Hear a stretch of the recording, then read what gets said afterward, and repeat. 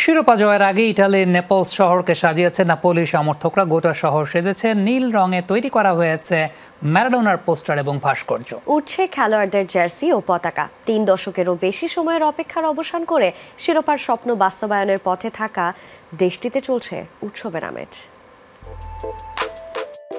সবশেষ ডিয়েগো ম্যারাডোনার হাত ধরে ইটালিয়ান লিগ সিরিয়ার শিরোপা এসেছিল নাপলির ঘরে। দীর্ঘ তেত্রিশ বছর পর আবারও সেই শিরোপা খরা খুঁজতে যাচ্ছে ক্লাবটির আর এ নিয়ে ভক্তদের উচ্ছ্বাস আর উদ্দীপনার কোনো কমতিই নেই। কেননা সমর্থকদের স্বপ্ন যে এবার সত্যি হওয়ার পথেই।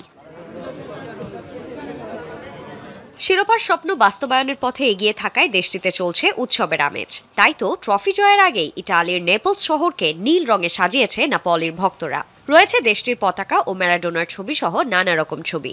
একই সাথে, নাপলির প্রত্যেকটা খেলোয়াড়ের জার্সি টানিয়ে রাখা হয়েছে গোটা শহর জুড়ে। L'emozione è tantissima perché এটি আমাদের কাছে ভীষণ আবেগের। শেষবার যখন শিরোপা জিতেছিলাম তখন বেশ ছোট ছিলাম। দুঃখজনক বিষয় হলো আমার অনেক বন্ধুই এটি দেখতে পাবে না কিন্তু তারপরও এটি আমাদের কাছে বিশাল একটি ব্যাপার. এদিকে কিছু সমর্থক আগে থেকেই প্রিয় ক্লাবের শিরোপা সংখ্যাটাও ট্যাটুর মাধ্যমে হালনাগাদ করিয়ে নিচ্ছেন।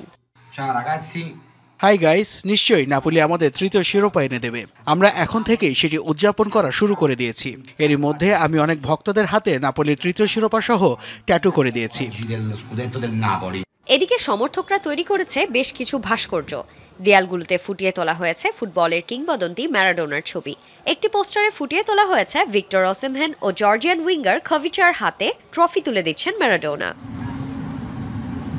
Sanjana Ivy Jomuna Sports.